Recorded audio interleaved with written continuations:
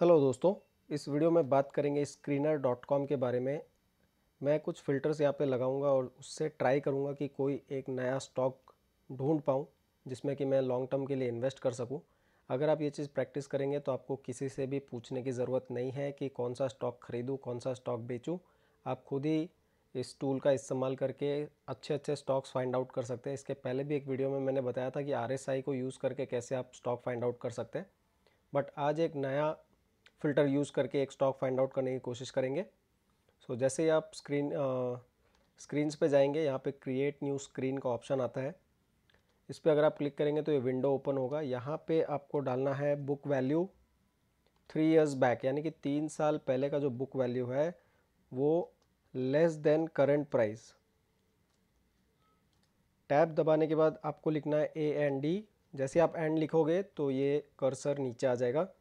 उसके बाद आपको डालना है बुक वैल्यू ये करंट बुक वैल्यू है which is greater than current price मैं इस फ़िल्टर से ये ट्राई कर रहा हूँ कि तीन साल पहले जो बुक वैल्यू था वो करंट प्राइस से कम था और बुक वैल्यू जो करंट बुक बुक वैल्यू है वो करंट प्राइस से ज़्यादा है।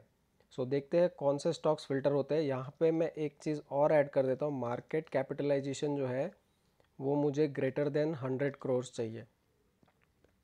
सो so, यहाँ पे रन दिस क्वेरी पे अगर आप जाएँगे तो ये सारे स्टॉक्स आते हैं। मैंने ये कुछ स्टॉक्स चेक किए लेकिन मैंने यहाँ पे एक स्टॉक फाइंड आउट किया है। यहाँ पे अगर आप देखेंगे रेपको होम फिनेंस सो तीन साल पहले का बुक वैल्यू 248 था और करंट बुक वैल्यू 337 है।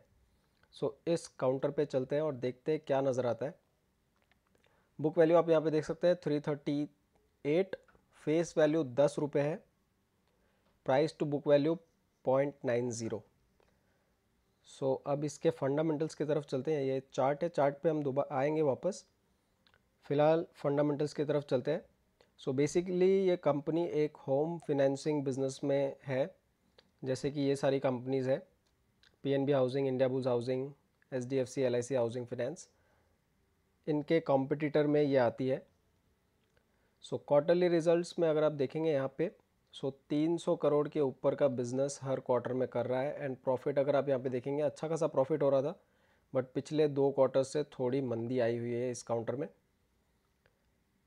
ईयरली सेल्स की अगर मैं बात करूँ तो ईयरली आप देख सकते हैं साढ़े तीन सौ, यहाँ पे 2018 में 300 करोड़ के ऊपर का प्रॉफिट था, उसके बाद ग्रो होके 360 अभी 390 पिछले साल के रिजल्ट्स में 390 हुआ है। एंड मोस्ट लाइकली आने वाले सालों में और अच्छा बिज़नेस करेगी ये कंपनी।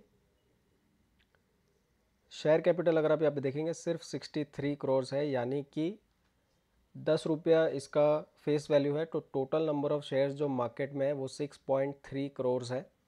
एंड यहाँ पे रिजर्व्स अगर आप देखेंगे कंटिन्यूसली ग्रो हो रहा है, जिसकी वजह से बुक वैल्यू बढ़ते जा रहे हैं। यहाँ पे पहले सेवन फिफ्टी फाइव का बुक वैल्यू था 2015 में, और वही आज 2000 करोड़ के ऊपर है। सो काफ़ी अच्छा इम्प्रूवमेंट है इस काउंटर में।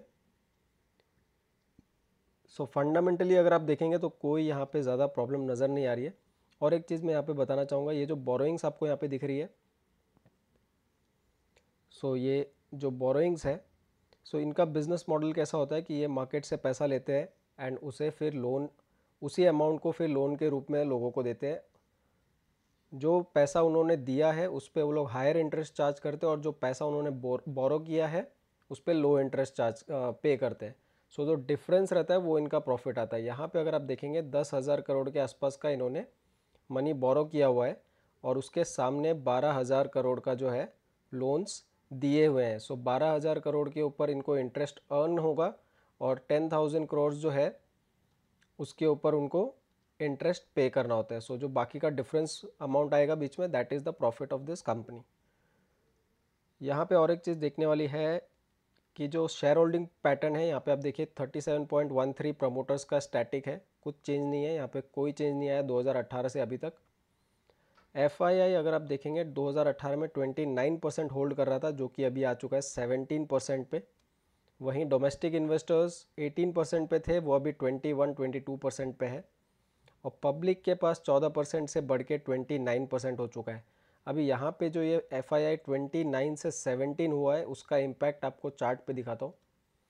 यहाँ पे अगर आप देखेंगे 2018 से 2017 के एंड से स्टार्ट हो चुका था। ये जो गिरावट देखने को मिल रहा है, नौ सौ का स्टॉक तीन सौ पे आ चुका है।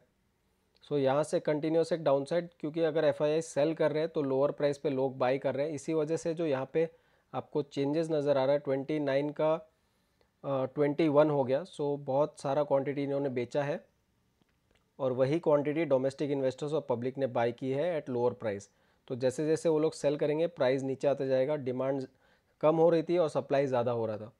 वहीं अभी अगर हम बात करें तो 302 पे है ये काउंटर यहाँ पे मुझे एक सपोर्ट यहाँ पे नज़र आ रहा है 275 के पास।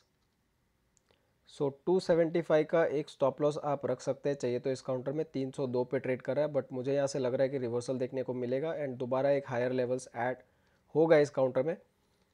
लॉन्ग टर्म के हिसाब से काफ़ी बढ़िया प्राइस है। करंट करंट प्राइस जो है काफ़ी अच्छा इन्वेस्ट करने के लिए। फिर भी अगर आपको सेफ़ रहना है तो 270 से 275 के बीच में स्टॉप लॉस रख सकते हैं। ज़्यादा कोई बड़ा डिफरेंस नहीं है। 25 से 30 रुपए का डिफरेंस है। फिर भी सेफ़ रहना है तो थोड़ी क्वांटिटी में ऐड कीजिए। एक साथ ज़्यादा क्वांटिटी बाय मत कीजिए। यहाँ से रिवर्सल देखना काफ़ी हद तक मैं कहूँगा काफ़ी ज़्यादा पॉसिबल है कि यहाँ से अच्छा खासा एक रिवर्सल देखने को मिले। एंड लॉन्ग टर्म के हिसाब से काफ़ी बढ़िया स्टॉक है ये। प्रमोटर्स ने अपनी होल्डिंग्स वैसे की वैसे रखी है।